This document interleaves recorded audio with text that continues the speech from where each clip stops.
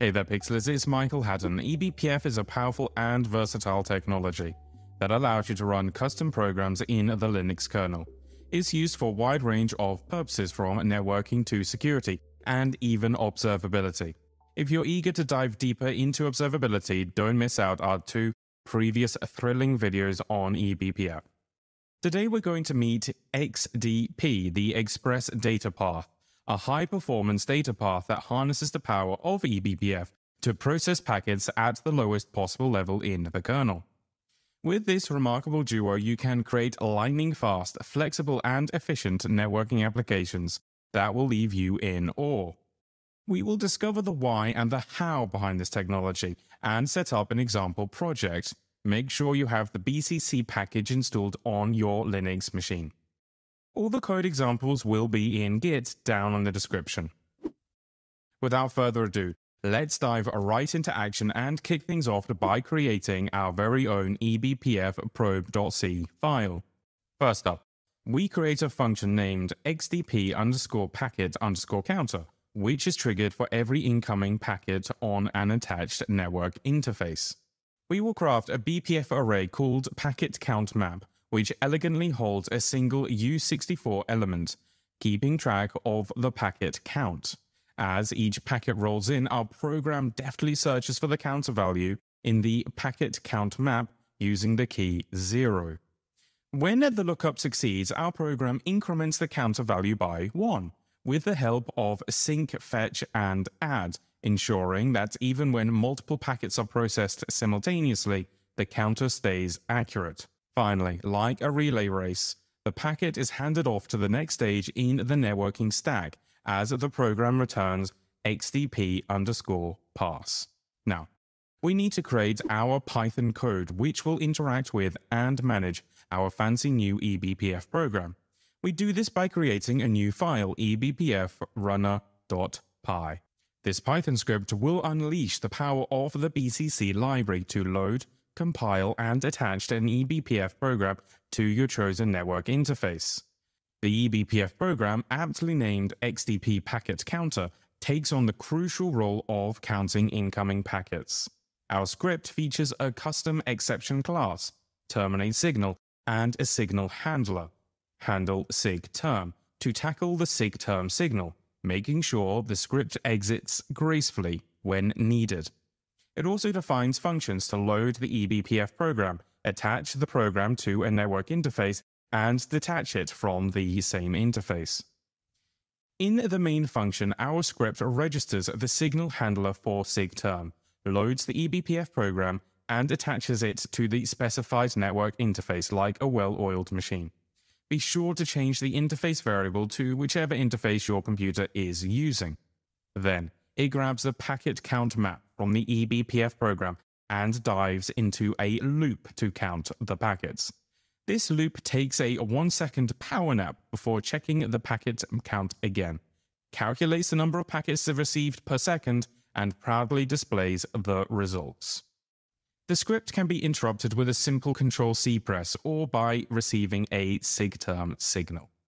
As the script comes to an end, it detaches the eBPF program from the network interface and makes a stylish exit. Detaching the eBPF program is vital, otherwise it will continue running wild in the kernel unmanaged. And now, when we run our code sudo python ebpf runner.py, we will be greeted with this lovely output. Let's dive into some advanced XDP actions that will allow you to manipulate and process packets in various ways. XDP boasts a collection of powerful actions that grant you ultimate control over packet processing.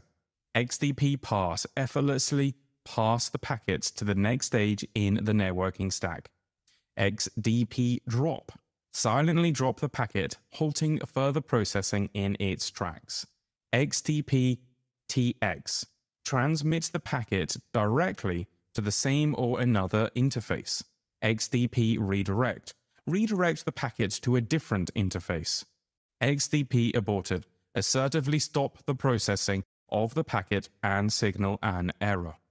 With these dynamic actions at your fingertips, you'll have an unparalleled flexibility and control over packet processing, empowering you to create cutting-edge networking applications. Time to drop these pesky unwanted network packets with XDP drop.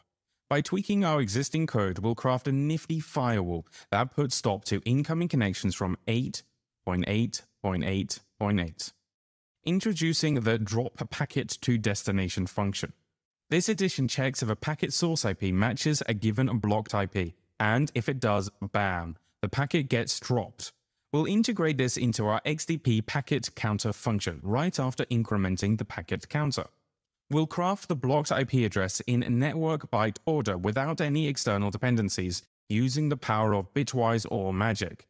Here's how we conjure up the blocked IP variable. The first block zaps the value 8 left by 24 bits. The second one shifts the value 8 left by 16 bits. The third one slides the value 8 left by 8 bits. And in the fourth one, 8 just stays how it is. When these values unite with bitwise OR, they form 0x08080808, corresponding to the IPv4 address 8.8.8.8. The BE32 type serves as an alias for the 30-bit big endian integer, which is widely used to represent IPv4 addresses in network byte order. Good news, no Python code updates needed. Now, if you dare to ping on this interface using ping minus capital I, your interface, 8.8.8.8, you'll witness the impressive power of our code as no packets slip through. Victory. Imagine effortlessly gaining insights into the packets being dropped by our eBPF program. Let's amp up our observability game and make it happen. Start by defining a new BPF perf output debug events right below the BPF array definition. This will allow us to send events from our eBPF program to user space. Next, it's going to be time for a little makeover of our drop if block. We can report the drop packets to our eBPF runner application, which we can then update as follows. We extend the functionality of our original Python code by printing a message whenever a packet is dropped due to a source IP address matching the specified block IP address. We do this with our new print debug event method, being called from the new open perf buffer definition. And don't forget, we have to set up BPF perf buffer poll to diligently poll buffer events, keeping us in the loop. Now, our application is all set to smoothly integrate with Prometheus or any other observability stack we fancy. Running our XDP program on the host's CPU is cool, but doing it on the NIC, that is next level awesome. Let's look at what's happening in our current flow. 1. Packet arrives at the Physical Network Interface card, NIC, from the outside world. Our NIC processes the packet and generates an interrupt signal to the CPU. The Linux kernel receives the interrupt signal and schedules the appropriate driver to handle the incoming packet. The packet is placed in a receive buffer by the NIC driver. The eBPF XDP program is executed by the kernel, processing the packet before it reaches the full networking stack. Depending on the XDP action chosen by the eBPF program, if XDP pass, the packet continues through the Linux networking stack. If XDP drop or XDP aborted, the packet is dropped and does not continue through the networking stack.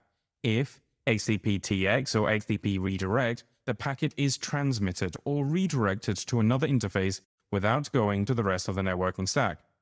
So if the packet does continue through the networking stack, it goes through the following stages, the network processing layer, the transport processing layer, and then the packet is handed off to the appropriate socket buffer. Then the user space application reads the packet from the socket buffer.